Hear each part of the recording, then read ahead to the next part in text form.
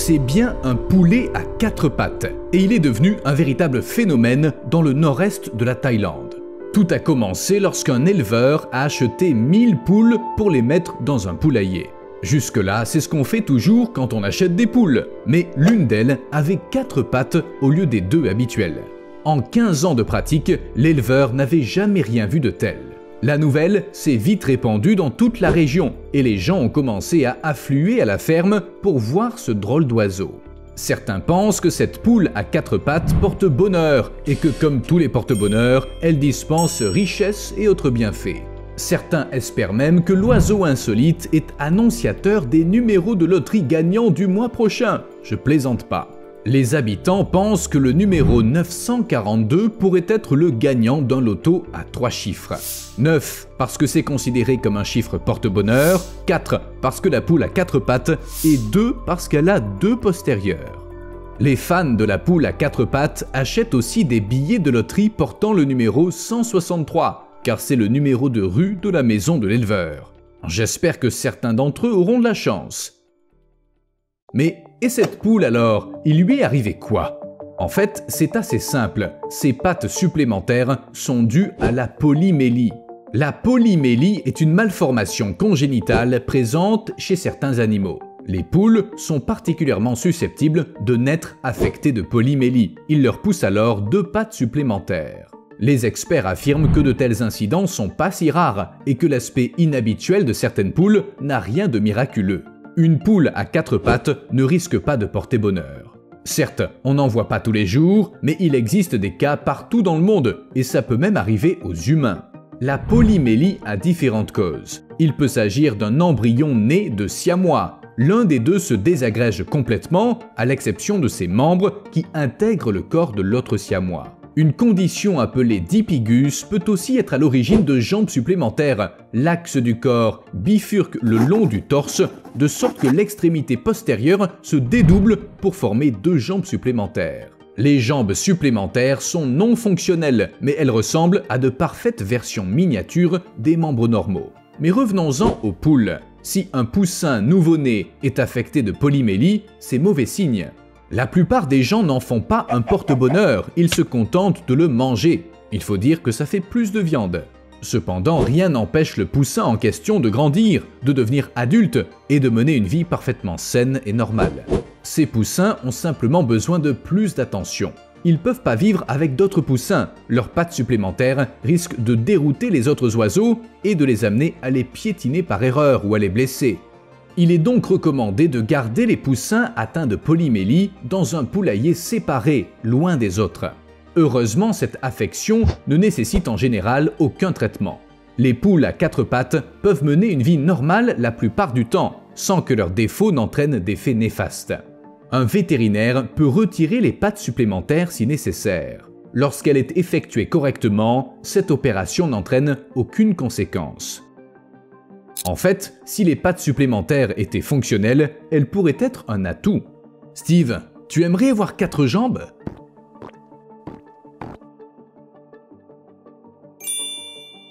Sérieusement, ces membres supplémentaires pourraient par exemple nous éviter des problèmes de dos. C'est d'ailleurs l'une des plaintes les plus fréquentes des patients auprès de leur médecin près de 65 millions d'Américains se sont plaints récemment de mal de dos. Environ 16 millions d'adultes souffrent de douleurs dorsales persistantes ou chroniques qui les handicapent au quotidien. Si les humains avaient quatre jambes, la situation irait sans doute mieux.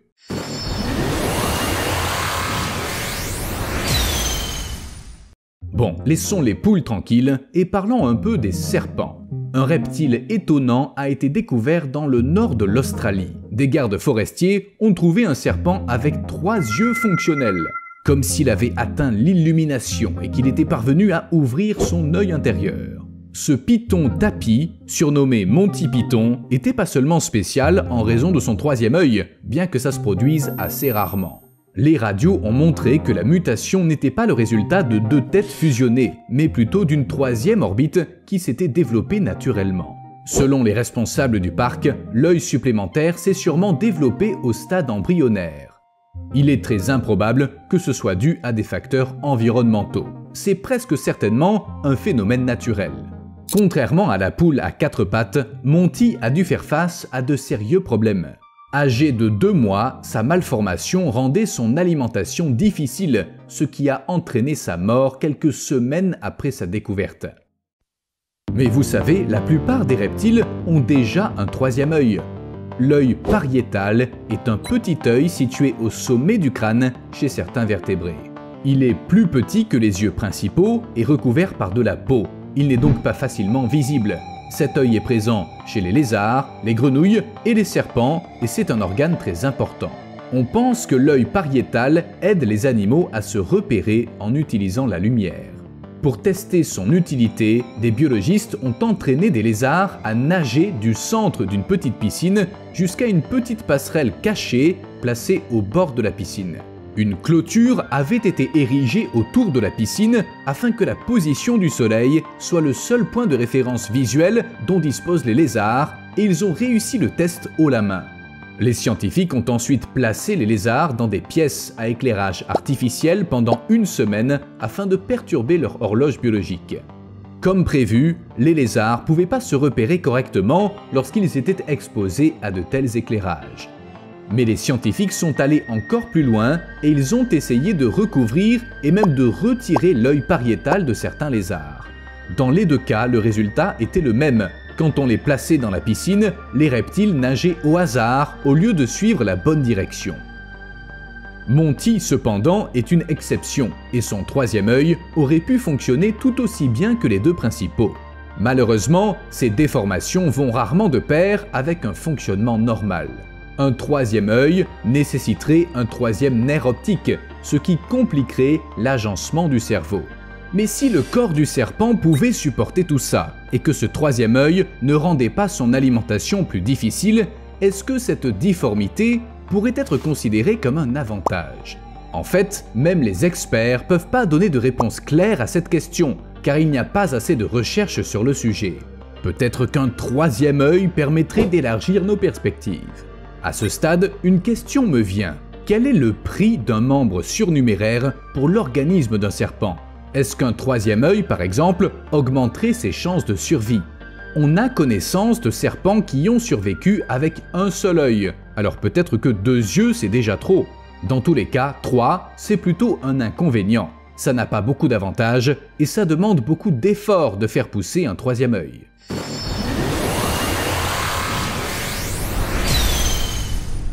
Parlons maintenant de la tortue lutte. C'est la plus grande de toutes les espèces de tortues. Elle peut atteindre 2,50 m de long et son poids peut dépasser 900 kg.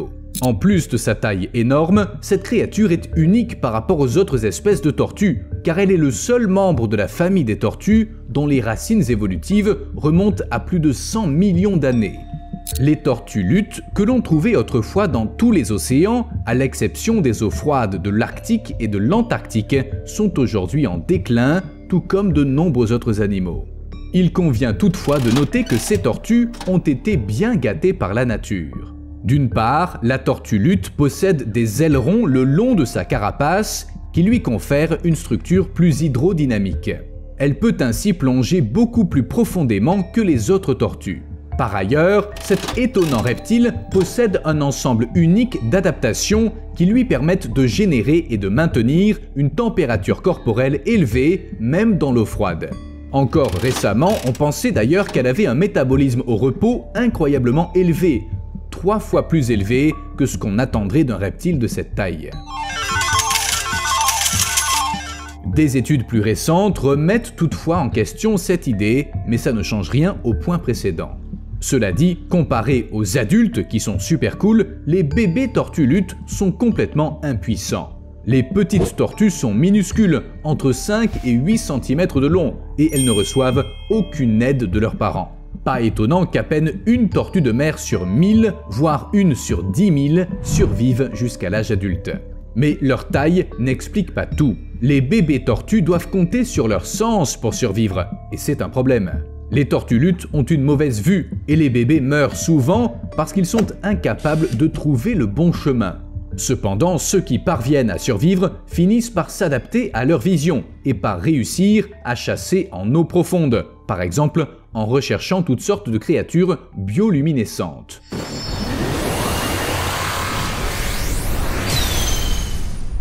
Bon, puisqu'on a décidé d'aller sous l'eau, il y a quelques années, un poisson pêché en Chine a fait sensation sur Internet. Il était si bizarre que les gens pensaient qu'il s'agissait d'un hybride de poisson et d'oiseau. Même si, pour être honnête, je trouve qu'il ressemblait plutôt à un petit cousin très laid des dauphins.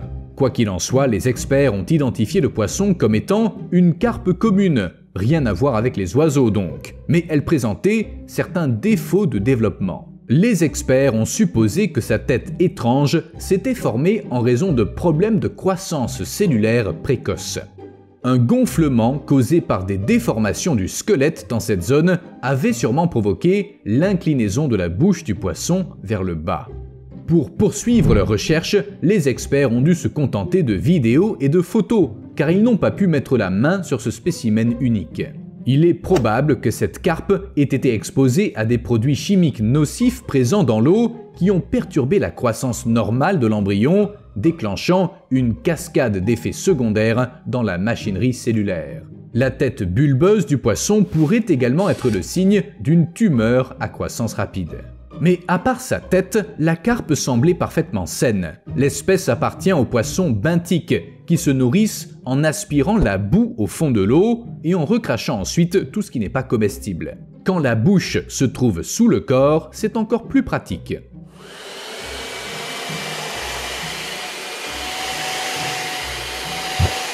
La question, c'est de savoir depuis combien de temps cette carpe bizarre était dans cet état. Elle ressemblait à quoi quand elle était petite? Comme d'habitude, on n'a pas de réponse exacte, mais il y a deux possibilités.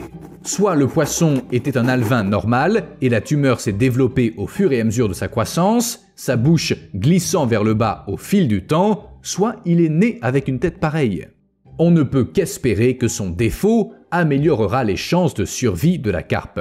Peut-être qu'avec le temps, toutes les carpes communes auront la bouche à un autre endroit, c'est pas une idée si folle que ça.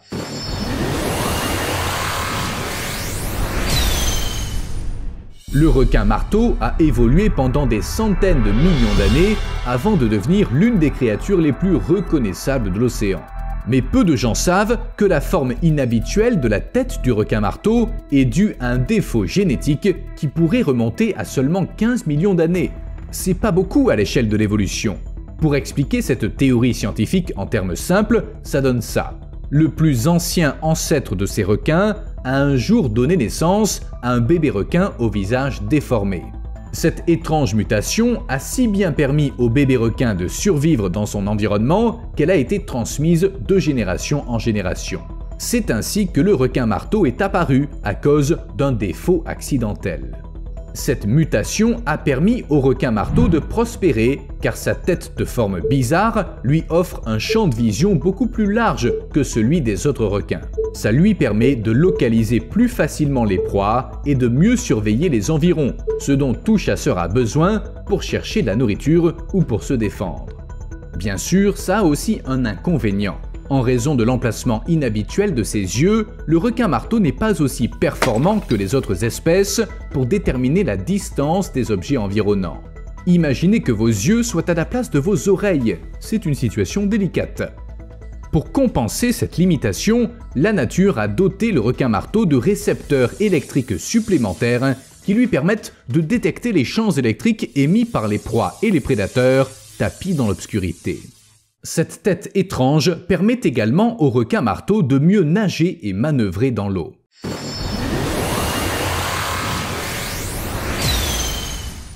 Et les rhinocéros alors? Pourquoi pas parler aussi de ces animaux? Après tout, la nature leur a procuré des adaptations assez inhabituelles. Et si par exemple, ils n'avaient pas le même nombre de cornes? Des photos exceptionnelles d'un rhinocéros à trois cornes ont été prises dans un parc animalier de Namibie en 2015. C'est le seul rhinocéros à trois cornes dont les experts aient entendu parler. Cette anomalie se produirait une fois tous les 40 à 50 ans. Les rhinocéros noirs d'Afrique ont généralement deux cornes alors que les autres espèces n'en ont qu'une. Cette troisième corne est sans doute le résultat d'une division des cellules in utero, en d'autres termes, une mutation. Il est peu probable que l'animal en soit incommodé, et il la transmettra sans doute pas à sa progéniture. En fait, les rhinocéros utilisent leurs cornes à plusieurs fins, notamment pour défendre leur territoire, protéger leurs petits des autres rhinocéros et des prédateurs, prodiguer des soins maternels et chercher de la nourriture. Les cornes les aident à creuser le sol à la recherche d'eau, à casser les branches. Une corne supplémentaire pourrait-elle leur être utile? Eh bien, si on regarde de près, on peut voir que cette corne est assez petite et un peu tordue. Mais si elle grossit, ce rhinocéros pourrait devenir plus dangereux que ses congénères à deux cornes, donc avoir plus de succès. Un tel rhinocéros pourrait aussi être pris pour cible par les braconniers, et sa corne supplémentaire serait alors plutôt un fardeau qu'un avantage évolutif.